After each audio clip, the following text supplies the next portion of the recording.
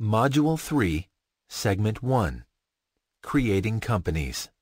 In this module, you will learn how to add a company record. You will review the layout of the Company Management window, and you will configure the Company Management History browses.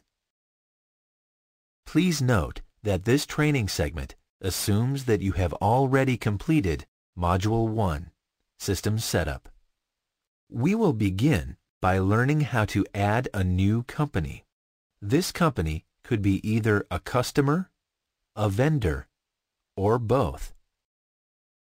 Go to the drop-down menu in the Company Management module and select Add. The Adding New Company window opens. You will see that there are three fields labeled in red. Name, Abbreviation, and code. These are the required fields for a company management record. Type the name of the company in the Name field. As with all other text fields in Quantum Control, this field can be completed with either all uppercase letters or with a combination of upper and lowercase letters. Please remember that the text in these fields will be reproduced on the printed forms exactly as you type it here. After you type in the name of the company, use your Enter or Tab key to navigate your cursor to the abbreviation field. You will remember from the Module 1, Segment 3, System Settings, that you are able to assign whether company codes are computer generated or entered manually. In our example, alphanumeric codes are automatically generated. If you look at the code field, you will see that an alphanumeric value has been inserted based on the company's name. This code value will be available as a search option throughout Quantum Control. The abbreviation field is required and must be completed by the user. It is provided for those companies that have more than one reference value they use when identifying customers and vendors. For example, one used by the sales department and another by the accounting department. If you do not have a need for multiple reference numbers, it is recommended that you repeat the code value in the abbreviation field. All other fields within the company management record are optional and should be used based on your own company's requirements. We will now review some of the most frequently used fields in the company management record. For a detailed explanation of all fields in the screen, please refer to Online Help, Chapter 3. The Attention field contains the name of your primary contact at this company. The name typed into this field will print as a default on all orders generated. You will see in the next training segment how to record additional contact names that can also be attached to orders. Type the name of the primary contact in the Attention field. The Terms field stores the payment terms that will be used as a default when you are quoting or selling to a customer.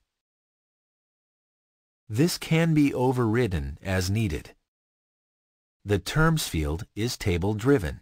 If the company you are creating will be a customer, open the table to make a selection from the options provided. The Browsing Term Codes window opens. You may double-click on a term to select it, or you can select the Add Action button to create a new term.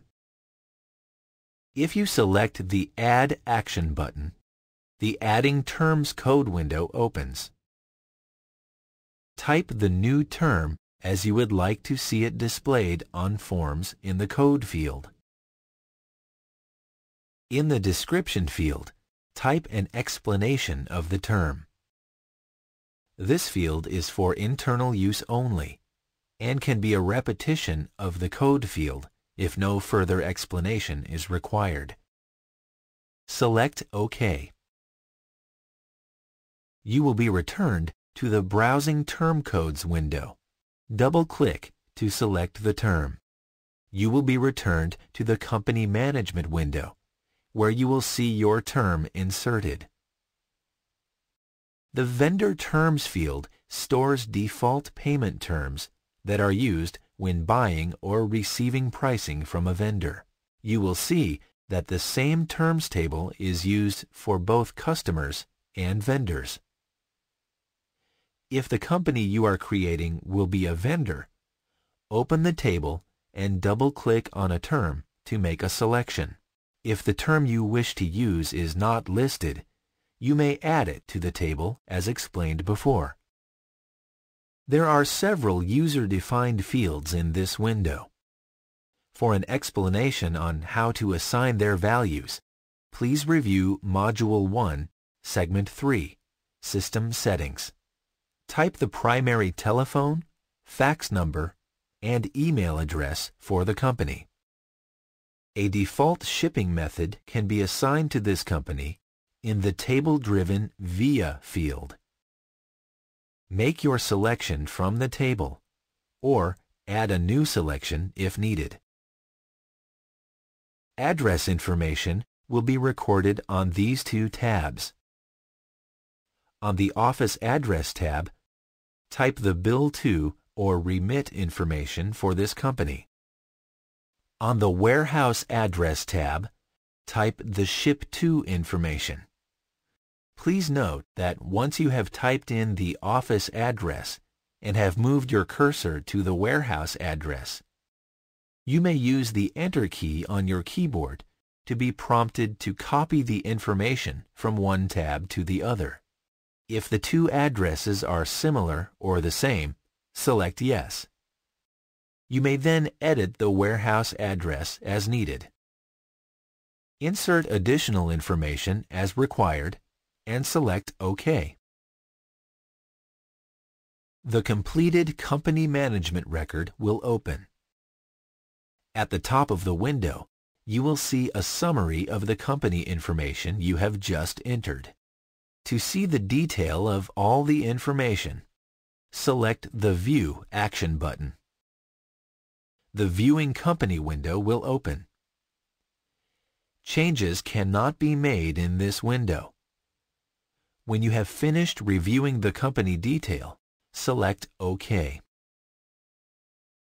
To make changes to the information you have entered, select the Edit action button. Update the record as needed and select OK.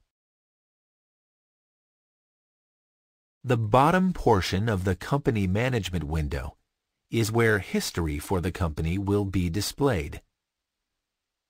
These history panels can be customized using the same method learned in the inventory management training. To change the history panels, right-click and select Configure Browses. The Configure Company Browses window opens.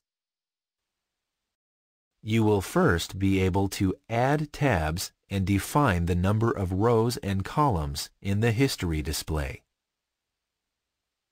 If you change the number of tabs, rows, and or columns, you will select the Rebuild button to apply these changes. You are then ready to assign the history to the additional grid locations. Simply locate a history display that you wish to include from the top of the window and drag and drop it into one of the grid areas on the bottom of the window. Please note that you cannot leave a grid unassigned as shown here. You must either assign a history or delete the extra grid. Select OK to save the changes.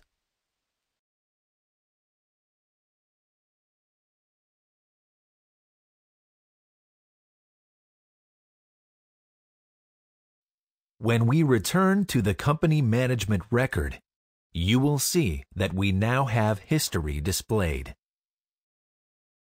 To recap what we have learned in this module, we have created a new company. We have reviewed the layout of the company management record. And we have configured the company management history displays. You may now proceed to Module 3, Segment 2, Functions in Company Management.